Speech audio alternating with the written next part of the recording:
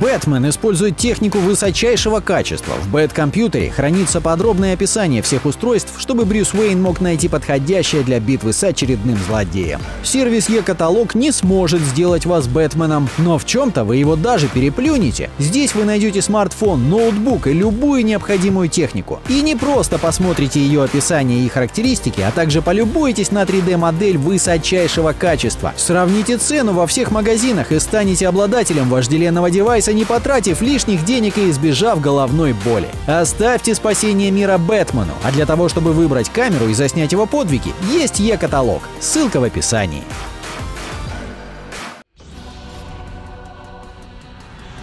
Здравствуйте! Вы смотрите Geek Movies.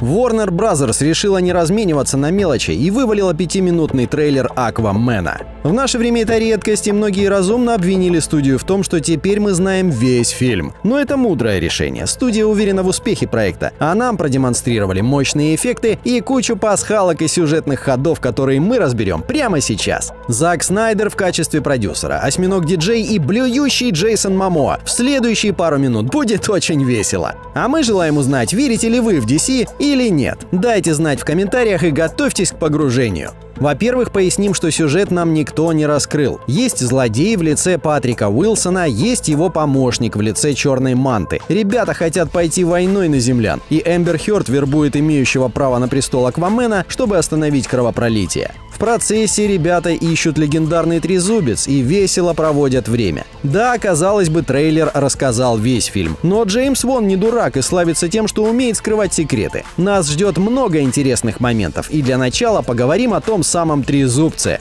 Как мы рассказывали в прошлом разборе, это трезубец короля Атлана. Именно он объединил семь подводных королевств в единое царство, и именно он считается первым полноценным королем Атлантиды. Трезубец неразрушим и сделан из адамантия по версии DC. Он способен пробить любой, даже самый мощный доспех. А ранее в комиксах с его помощью Аквамен управлял огнем, льдом и даже молниями. И это не последняя отсылка на Тора, ведь мощь не главная причина поисков Трезубца. Трезубец нужен за тем, чтобы показать, что его носитель достоин быть королем. Подводный народ суеверен и чтит предков. Именно поэтому Артур и его горячая подружка ищут вундервафлю. Не за тем, чтобы победить злого Орма. Напротив, главный плохиш фильма также озабочен поисками Трезубца, ибо в подземном мире не все ладно, и королевства сплотятся только вокруг истинного наследника Атлана. По словам режиссера, нас ждет настоящая гонка за артефактом. Но помимо него будет гонка и за классическим костюмом героя. Когда Зак Снайдер брал Джейсона Мамоа на роль, он обещал, что Аквамен больше не будет сосать.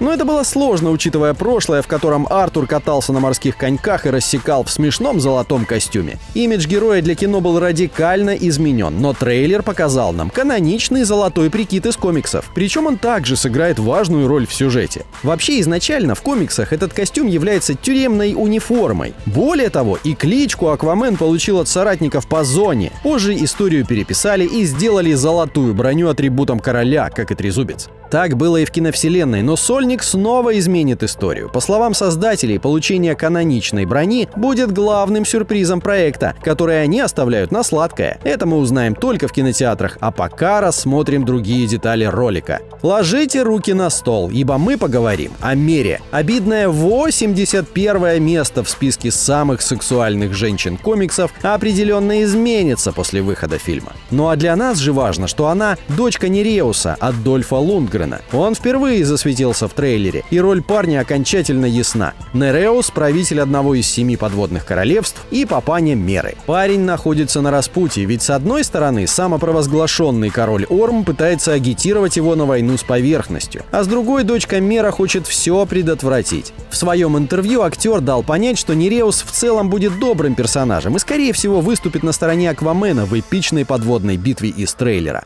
А вернувшись к Мере, упомянем, что она не просто любовный интерес Артура. Напротив, вполне возможно, что до конца фильма между ними не случится и поцелуя. DC мудро избежали критики в свой адрес, и именно Мера будет мозгом Аквамена. Ее описывают как сильную, независимую женщину, которая к тому же может управлять водой в любых количествах. Собственно, даже этот трейлер показал, какую массу воды она сдерживает, спасая Артура и его папашу. А у любой сильной и независимой женщины должны быть котики. Но даже даже здесь все наоборот, и питомец будет у Аквамена. Спойлер пришел с предпоказов фильма. Побывавшие там ребята отмечают, что осьминог Топа появится в проекте. В комиксах Топа очень любит музыку и является кумиром публики, ну а в фильме он будет настоящим музыкантом. Битва Орма и Аквамена, которую нам показали в трейлере, проведется именно под его музыку. Джеймс Вон развернулся на полную, и подводная Ваканда смотрится неплохо. К слову о предпоказах. DC максимально уверена в фильме, потому что не запретила рассказывать о его начале. И битва братьев, на которой трейлер делает акцент, состоится в первой же трети.